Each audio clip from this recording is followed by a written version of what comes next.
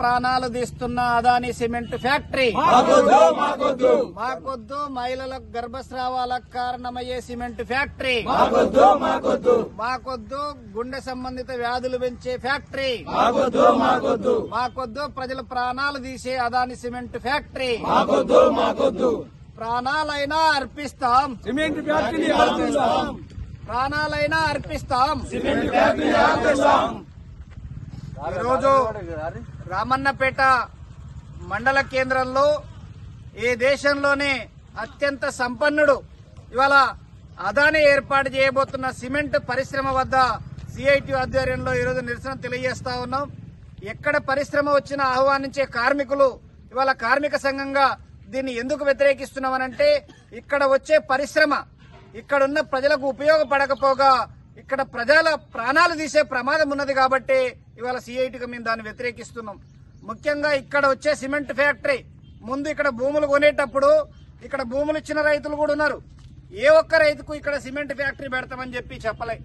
మూడు వందల అరవై ఐదు ఎకరాల భూమిని ఇక్కడ కొనుగోలు చేసిర్రు డ్రై ఫ్రూట్ ఫ్యాక్టరీ పేరుతోటి. కానీ ఇవాళ అది పక్కకు పోయింది.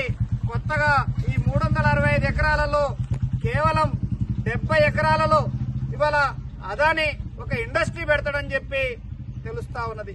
మరి అది ఏం ఇండస్ట్రీ అన్నప్పుడు అంబుజా సిమెంట్ ఫ్యాక్టరీకి సంబంధించింది. వాస్తవంగా ఎక్కడ సిమెంట్ ఇండస్ట్రీ పెట్టినా అక్కడ ముడి ఉన్న దగ్గర ఇండస్ట్రీ పెడతారు. ఇక్కడ మరి ఆయన తవ్వడానికి క్వారీలు లేవు ఈడ గుట్టలు లేవు ఈడ రాళ్ళు లేవు కానీ ఇక్కడ ఇండస్ట్రీ పెడుతున్నాడు. ఈ మతలబేందో అర్థం కాని పరిస్థితి ఉంది ఇక్కడ ప్రజలకి. ఎక్కడి నుంచో రా మెటీరియల్ తెచ్చి ఇక్కడ డంప్ చేసి ఇక్కడ సిమెంట్ చేస్తాడు. ఒక రాయిని పగలగొడితే ఎంత సప్పుడు వస్తుందో మరి కొన్ని లక్షల మెట్రిక్ టన్నుల సున్నపురాయిని తీసుకొచ్చి ఇక్కడ దాన్ని మొత్తం సిమెంట్గా తయారు చేస్తాడు. అంటే ఎంత పొగ వస్తుంది ఎంత దుమ్ము వస్తుంది ఇవాళ రామన్నపేటే కాదు చుట్టుపట్టు మండలాలు ఇవాళ రామన్నపేటతో పాటు చిట్యాల నార్కట్పల్లి అటు ఒలిగొండ మండలాలకి కింద మోత్కూరు మండలాల దాకా కూడా ఈ ధూళి రేణువులు వెళ్తాయి. మరి ఇక్కడ సిమెంట్ తయారీలో ఇప్పటికే ఒక దగ్గరే కాదు అనేక కంపెనీలలో కూడా ఇవాళ కార్బన్ ఉద్గారాలు విడుదలవుతాయి. కార్బన్ మోనాక్సైడ్ లాంటివి. ఇవాళ అనేక పరిశ్రమల్ని రీసెర్చ్ చేసి అనేక మంది ఇవాళ రిపోర్ట్ ఇస్తా ఉన్నారు. సిమెంట్ పరిశ్రమ జనవాసాలకు దూరంగా ఉండాలి. కానీ ఇవాళ సిమెంట్ పరిశ్రమ ఇక్కడనే ఇల్లున్నది ఇక్కడనే గోదాం ఉన్నది ఈ పక్కకే ఇండ్లున్నాయి. మరి ఎక్కడ పోయినా కనీసం అర కిలోమీటర్ దూరం కూడా లేదు. మామూలుగా ఐదారు అడుగులేస్తే ఇండ్లు వచ్చే పరిస్థితి ఉన్నది. మరి ప్రజల ఇండ్ల మధ్యలో పెట్టాల్సిన అవసరం ఏమొచ్చింది? అదానికి అదాని గారు ఈ దేశ సంపన్నుడుగా ఎదిగినడు.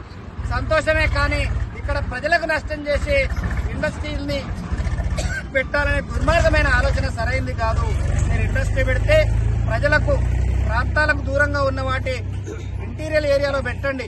ఎవరికి ఇబ్బంది లేదు. కానీ మీరు ప్రజల మధ్యలో ప్రజల నివాసం ఉంటున్న మధ్యలోకి వచ్చి మీరు ఇవాళ ఇండస్ట్రీ పెట్టాలనే ఆలోచన ఇది మొత్తానికి కార్మికులకు ప్రజలకు నష్టం చేసేది.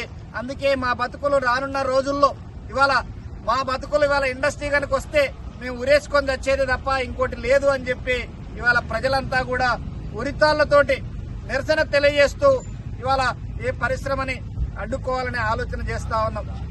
రేపు రానున్న రోజుల్లో ఏ పరిశ్రమ వస్తే ఈ పరిశ్రమ వస్తే పూర్తి స్థాయిలో ఈ ప్రాంత ప్రజలకి అన్యాయం జరుగుతుంది.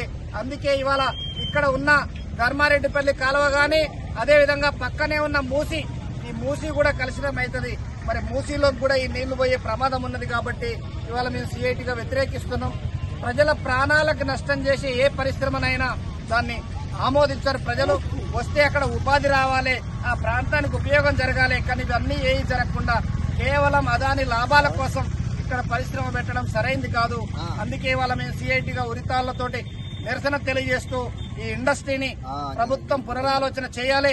రేపు జరగబోయే ప్రజాభిప్రాయ సేకరణలో కూడా సమస్త కార్మికులు అన్ని రంగాల కార్మికులు కూడా పాల్గొని తమ నిరసనను తెలియజేయాలని చెప్పి కూడా ఈ సందర్భంగా విజ్ఞప్తి చేస్తూ ఈ పరిశ్రమని ఎంతవరకు జరిగే పోరాటంలో ప్రజా సంఘాల జరిగే పోరాటంలో సిఐటి పాత్ర ఉంటదని చెప్పి మరొకసారి తెలియజేస్తూ మాకొద్దు ప్రజల ప్రాణాలు వరించే అదాని ఫ్యాక్టరీ మాకొద్దు ప్రజల ప్రాణాలు వరించే ఇండస్ట్రీ ఫ్యాక్టరీ జిందాబాద్ జిందాబాద్ జిందాబాద్ తాళం వేసి తాళం వేసింది